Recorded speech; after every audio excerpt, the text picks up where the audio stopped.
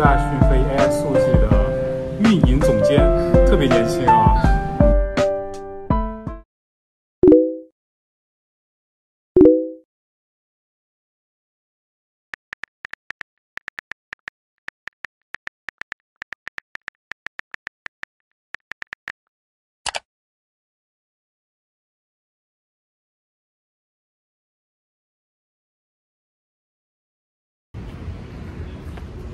哦，今天是二零二四年八月十号，星期六。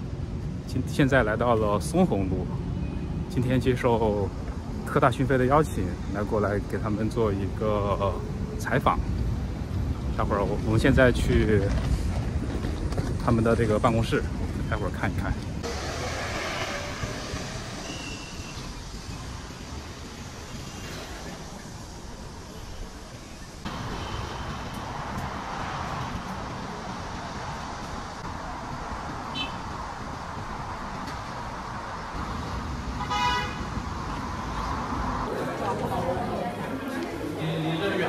呃，还好，我在那个华漕那边。哦，在这个楼。好。这个是今天科大讯飞的同事们。好。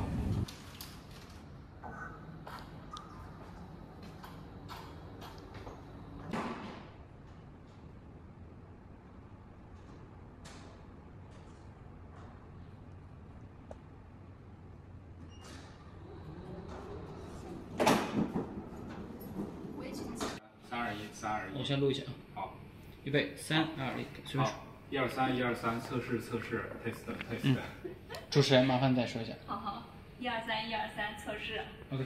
然后每天就只需要维护一下、重复一下之前的昨天的工作，我感觉可能对我的吸引力就不是很大。嗯，就没有挑战。对对对。那像。然后就是，然后后面就是周推辅助的，大概这个意思。然后这个当时反正，这个就是，呃，然后这蘸墨镜，然后，哦，是这样，你再往这边站。没事，你可以先练习两下。我们我们捋一下这个，他要不然站站在这儿呢。买菜，呃，他问我送到几号楼，上面是采访的一些事情。那我们来看一。之前确实自己嗯，说实话，因为打游戏太烧钱了。嗯。然后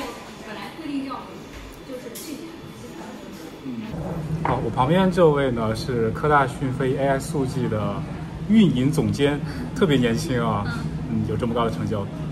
那在呃讯飞的工作的一天，典型的一天是什么样子的？嗯，其实从每天早上我也是，就是我可能不是像你一样用一个 AI 的工具，我会脑子里头去回顾我今天的重要的一些工作有哪些。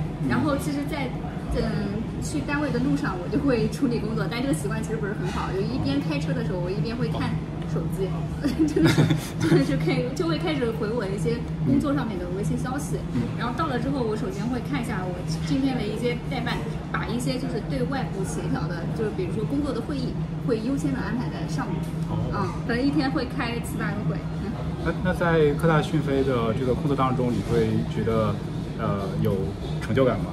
是有的，尤其是就是今年开始做这个产品，对我来讲也是一个比较大的转型嘛，都很有意思。然后我会去真正的去接触一些用户，比如说你啊，嗯、然后每个人有荣幸荣幸，对，有各自的这种性格，就很有意思。你会发现，呃，他自己呃有各种各样的生活，并且我们的东西，我们的产品真的对他有帮助。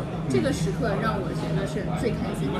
就像之前我跟你说的，各行各业的用户说他用了我们的产品有什么什么样的作用。嗯这个这个时刻，就听到用户有这种反馈，我都会觉得啊，那我们背后付出的很多努力都是值得的。嗯，这说明讯飞还是比较重视用户体验的，能愿意去倾听用户的一些呃反馈。是的。啊，好的。经过一个上午加半个下午的采访录制，我们现在已经受尽杀青了。感谢我们科大讯飞的小伙伴。也感谢小王同学。好的，好的，祝你们那个 AI 星火大模型被越来越多的人使用。好，谢谢，谢谢，好，拜拜，拜拜。